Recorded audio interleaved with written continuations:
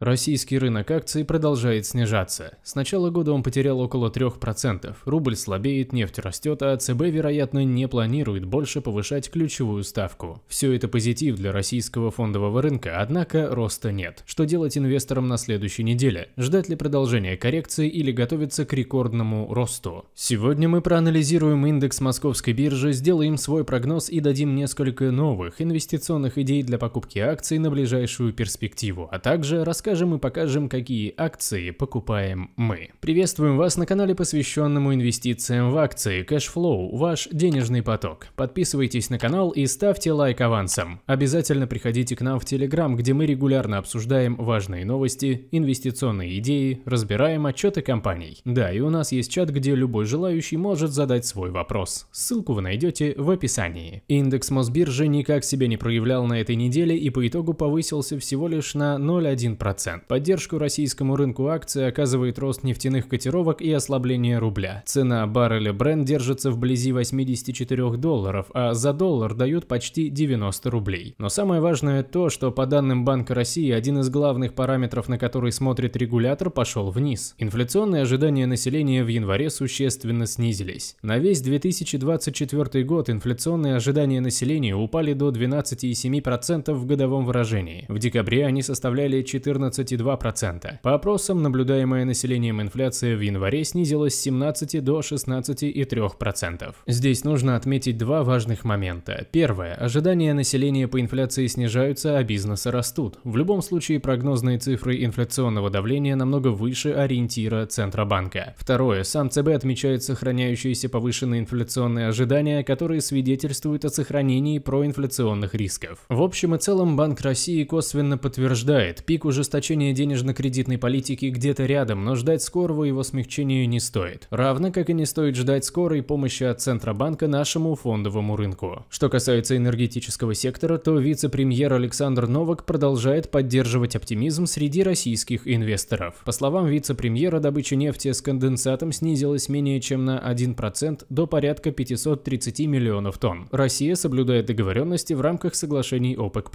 Делаем вывод, у нашей нефтянки все стабильно стабильно. Мы сохраняем позитивный взгляд на нефтяной сектор, который является основой российской экономики. Добыча и поставки стабильны. Если ОПЕК Плюс решит в течение 2024 года открыть кран, это будет дополнительный плюс к производственным и финансовым показателям. Что касается добычи природного газа в России, то Новотек отметил, что показатель снизился на 5,5%. Компания «Газпром» наращивает поставки по трубопроводу «Сила Сибири». В планах роста экспорта трубопроводного российского газа на 11% в год. По-прежнему у правительства большая ставка на сжиженный природный газ и на компанию Новотек, даже несмотря на санкционное давление на проект Арктик СПГ-2. Отгрузка первой партии СПГ с проекта запланирована на февраль. Акции Новотека заметно отстали от рынка, минус 2,2% по итогам недели, после сообщения о приостановке производственного комплекса в Усть-Луге после пожара. По оценке экспертов ничего серьезного не случилось, однако восстановительные работы займут несколько месяцев. Мы воспользовались снижением в котировке котировках и докупили акции Новотека в свой инвестиционный портфель. Кстати, в канале с сигналами мы продолжаем успешно торговать, и только в этом месяце мы заработали на акциях Ростелеком плюс 9%, Алроса плюс 10%, а акции Яндекса принесли нам более 20% прибыли. Проверьте сами, мы опубликовали таблицу со всеми своими сделками. Не тратьте деньги на дорогие подписки, приходите на наш канал, где вся аналитика дается абсолютно бесплатно. Ссылку на канал с сигналами оставим в описании. У компании Черный черной металлургии все сейчас не так плохо. Такой вывод делаем исходя из операционного отчета за четвертый квартал и весь 2023 год от компании ММК. Производство стали в 2023 году выросло на 11,1% благодаря благоприятной конъюнктуре спроса на внутреннем рынке. Производство чугуна за весь год выросло на 9,5% в год году. Продажи металлопродукции в 2023 году выросли на 10,1%. Компания ММК показала уверенные операционные цифры за 2023 год даже не несмотря на снижение производства в четвертом квартале на фоне плановых ремонтных работ. В целом, рост производства металлов ММК в 2023 году обусловлен спросом со стороны строительной отрасли, а также со стороны сектора машиностроения. Прогноз на начало и весь 2024 по производству у компании достаточно сдержанный. Ждем финансовый отчет за 2023 год и информации по возможному возврату к дивидендным выплатам. Кстати, 2 февраля должна опубликовать финансовый отчет за четвертый квартал и весь 2023 год компания «Северсталь». Ожидания от отчета нейтральные, а вот по предстоящим дивидендам ожидания позитивные. В рамках опубликования финансового отчета менеджмент компании может озвучить новые вводные по дивидендным перспективам. На этой неделе котировки депозитарных расписок Яндекса взлетели на 7% за два дня, причем на повышенных объемах торгов. Компания активно готовится к разделению. Яндекс в ближайшее время может озвучить окончательные параметры сделки по разделению бизнеса на международную и российскую части, а пока не исключено, что в котировках резвятся инсайдеры. Работа по техническому разделению компании продолжается. Банк России зарегистрировал ценные бумаги российского Яндекса, российская структура консолидирует российские активы. Здесь нужно прояснить два момента. Мы не раз говорили о перспективах Яндекса, его положении на рынке и потенциале роста. Сохраняем свой долгосрочный позитивный взгляд на компанию. Но есть момент неопределенности. Несмотря на рост котировок и преодоление локального максимума, до сих пор полных параметров сделки неизвестно. Заходить в Яндекс на всю котлету не стоит, даже если есть уверенность в благоприятном исходе. Почему? Риски есть, и они связаны с порядком и коэффициентом обмена ценных бумаг. Если вы планируете заработать в этом году, то обязательно посмотрите на штоп акций IT-компаний. Именно они будут активно расти в 2024 году. Ссылка будет в описании. В российских деловых кругах все активнее ходят слухи о том, что ВК готовится к покупке 28% доли Озона фонда Бейринг Восток. На этой новости цена акций с начала года выросла на 20%, закрыв навес от прошлогодней редомицеляции, и на данный момент ВК является самой доходной бумагой из индекса Мосбиржи. С точки зрения финансов, сделка выглядит рискованно. По слухам, речь идет о покупке доли за 80 миллиардов рублей, это с 50% дисконтом. К тому же Озон является убыточной компанией, и если к убыткам ВК прибавить 30% долю убытка Озона, то совокупный отрицательный итог удвоится. Однако в случае реализации сделки возникают две инвестиционные возможности. Первая краткосрочная. ВК покупает за 80 миллиардов то, что стоит 160 миллиардов. Следовательно, у компании мгновенно возникает прибыль в 80 миллиардов рублей. Краткосрочно это может переоценить стоимость акций на 30-35% вверх до 850 рублей. При этом, если сделка не осуществится, то цена акции вряд ли упадет больше, чем на 4-5%. Соответственно, для инвестора, решившего поставить на то, что ВК все-таки купит Озон, возникает интересное соотношение риска и доходности. В случае успеха прибыль инвестора высокая, в случае провала убыток небольшой. Вторая инвестиционная возможность – долгосрочная. Покупка Озона приведет к еще большей закредитованности у без того закредитованной компании. Чрезмерно высокий долг на уровне Сигежа и убыточность Озона плохо повлияют на отчетность компании и стоимость акций будет дешеветь до тех пор, пока ВК не начнет генерировать достаточное количество денег для сокращения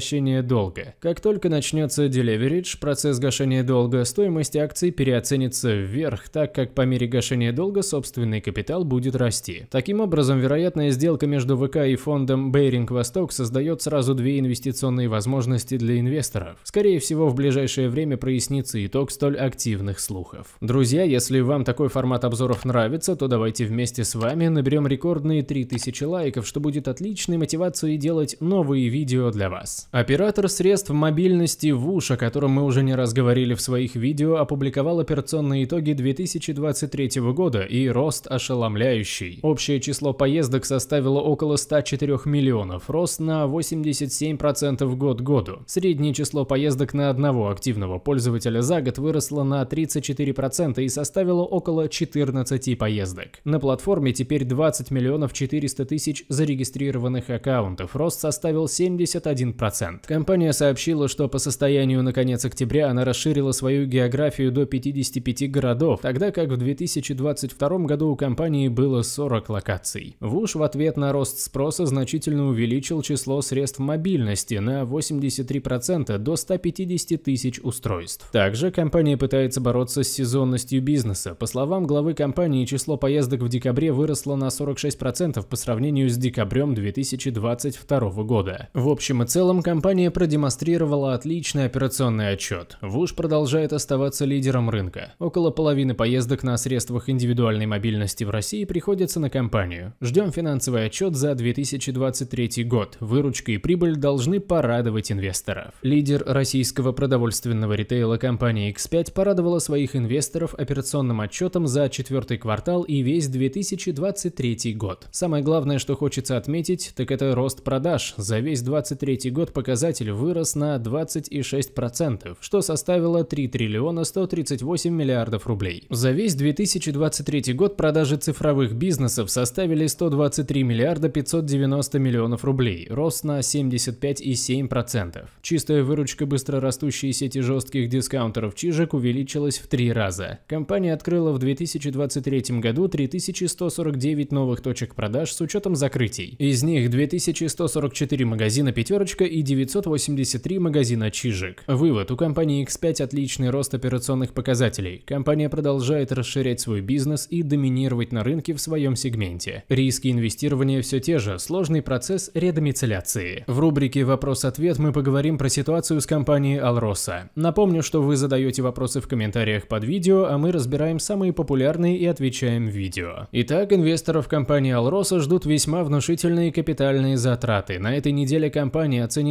стартовые капитальные вложения в рудник «Мир глубокий» на уровне 1,8-2 миллиардов долларов. По оценкам компании, объем добычи алмазов при выходе на проектную мощность по добыче руды в 2 миллиона тонн может составить 5,6 миллионов карат в год. Разведка глубоких горизонтов рудника «Мир» позволила увеличить запасы алмазов на месторождении на 62 миллиона карат. Долгосрочные инвестиции в строительство «Мир глубокий» увидят отдачу по расчетам Алроса в 2034 году, а к 2040 году проект выйдет на максимальную мощность. С одной стороны, компания все делает правильно, инвестирует деньги сейчас, чтобы получить отдачу в будущем. С другой стороны, переизбыток драгоценных камней на рынке, неустойчивость спроса и снижение цен на драгоценные камни вызывают больше вопросов, чем ответов. Все компании, представленные в этом видео, интересны по-своему, но важно дождаться хороших точек входа, чтобы в них заходить значительной частью капитала. Именно их мы опубликовали в телеграм-канале.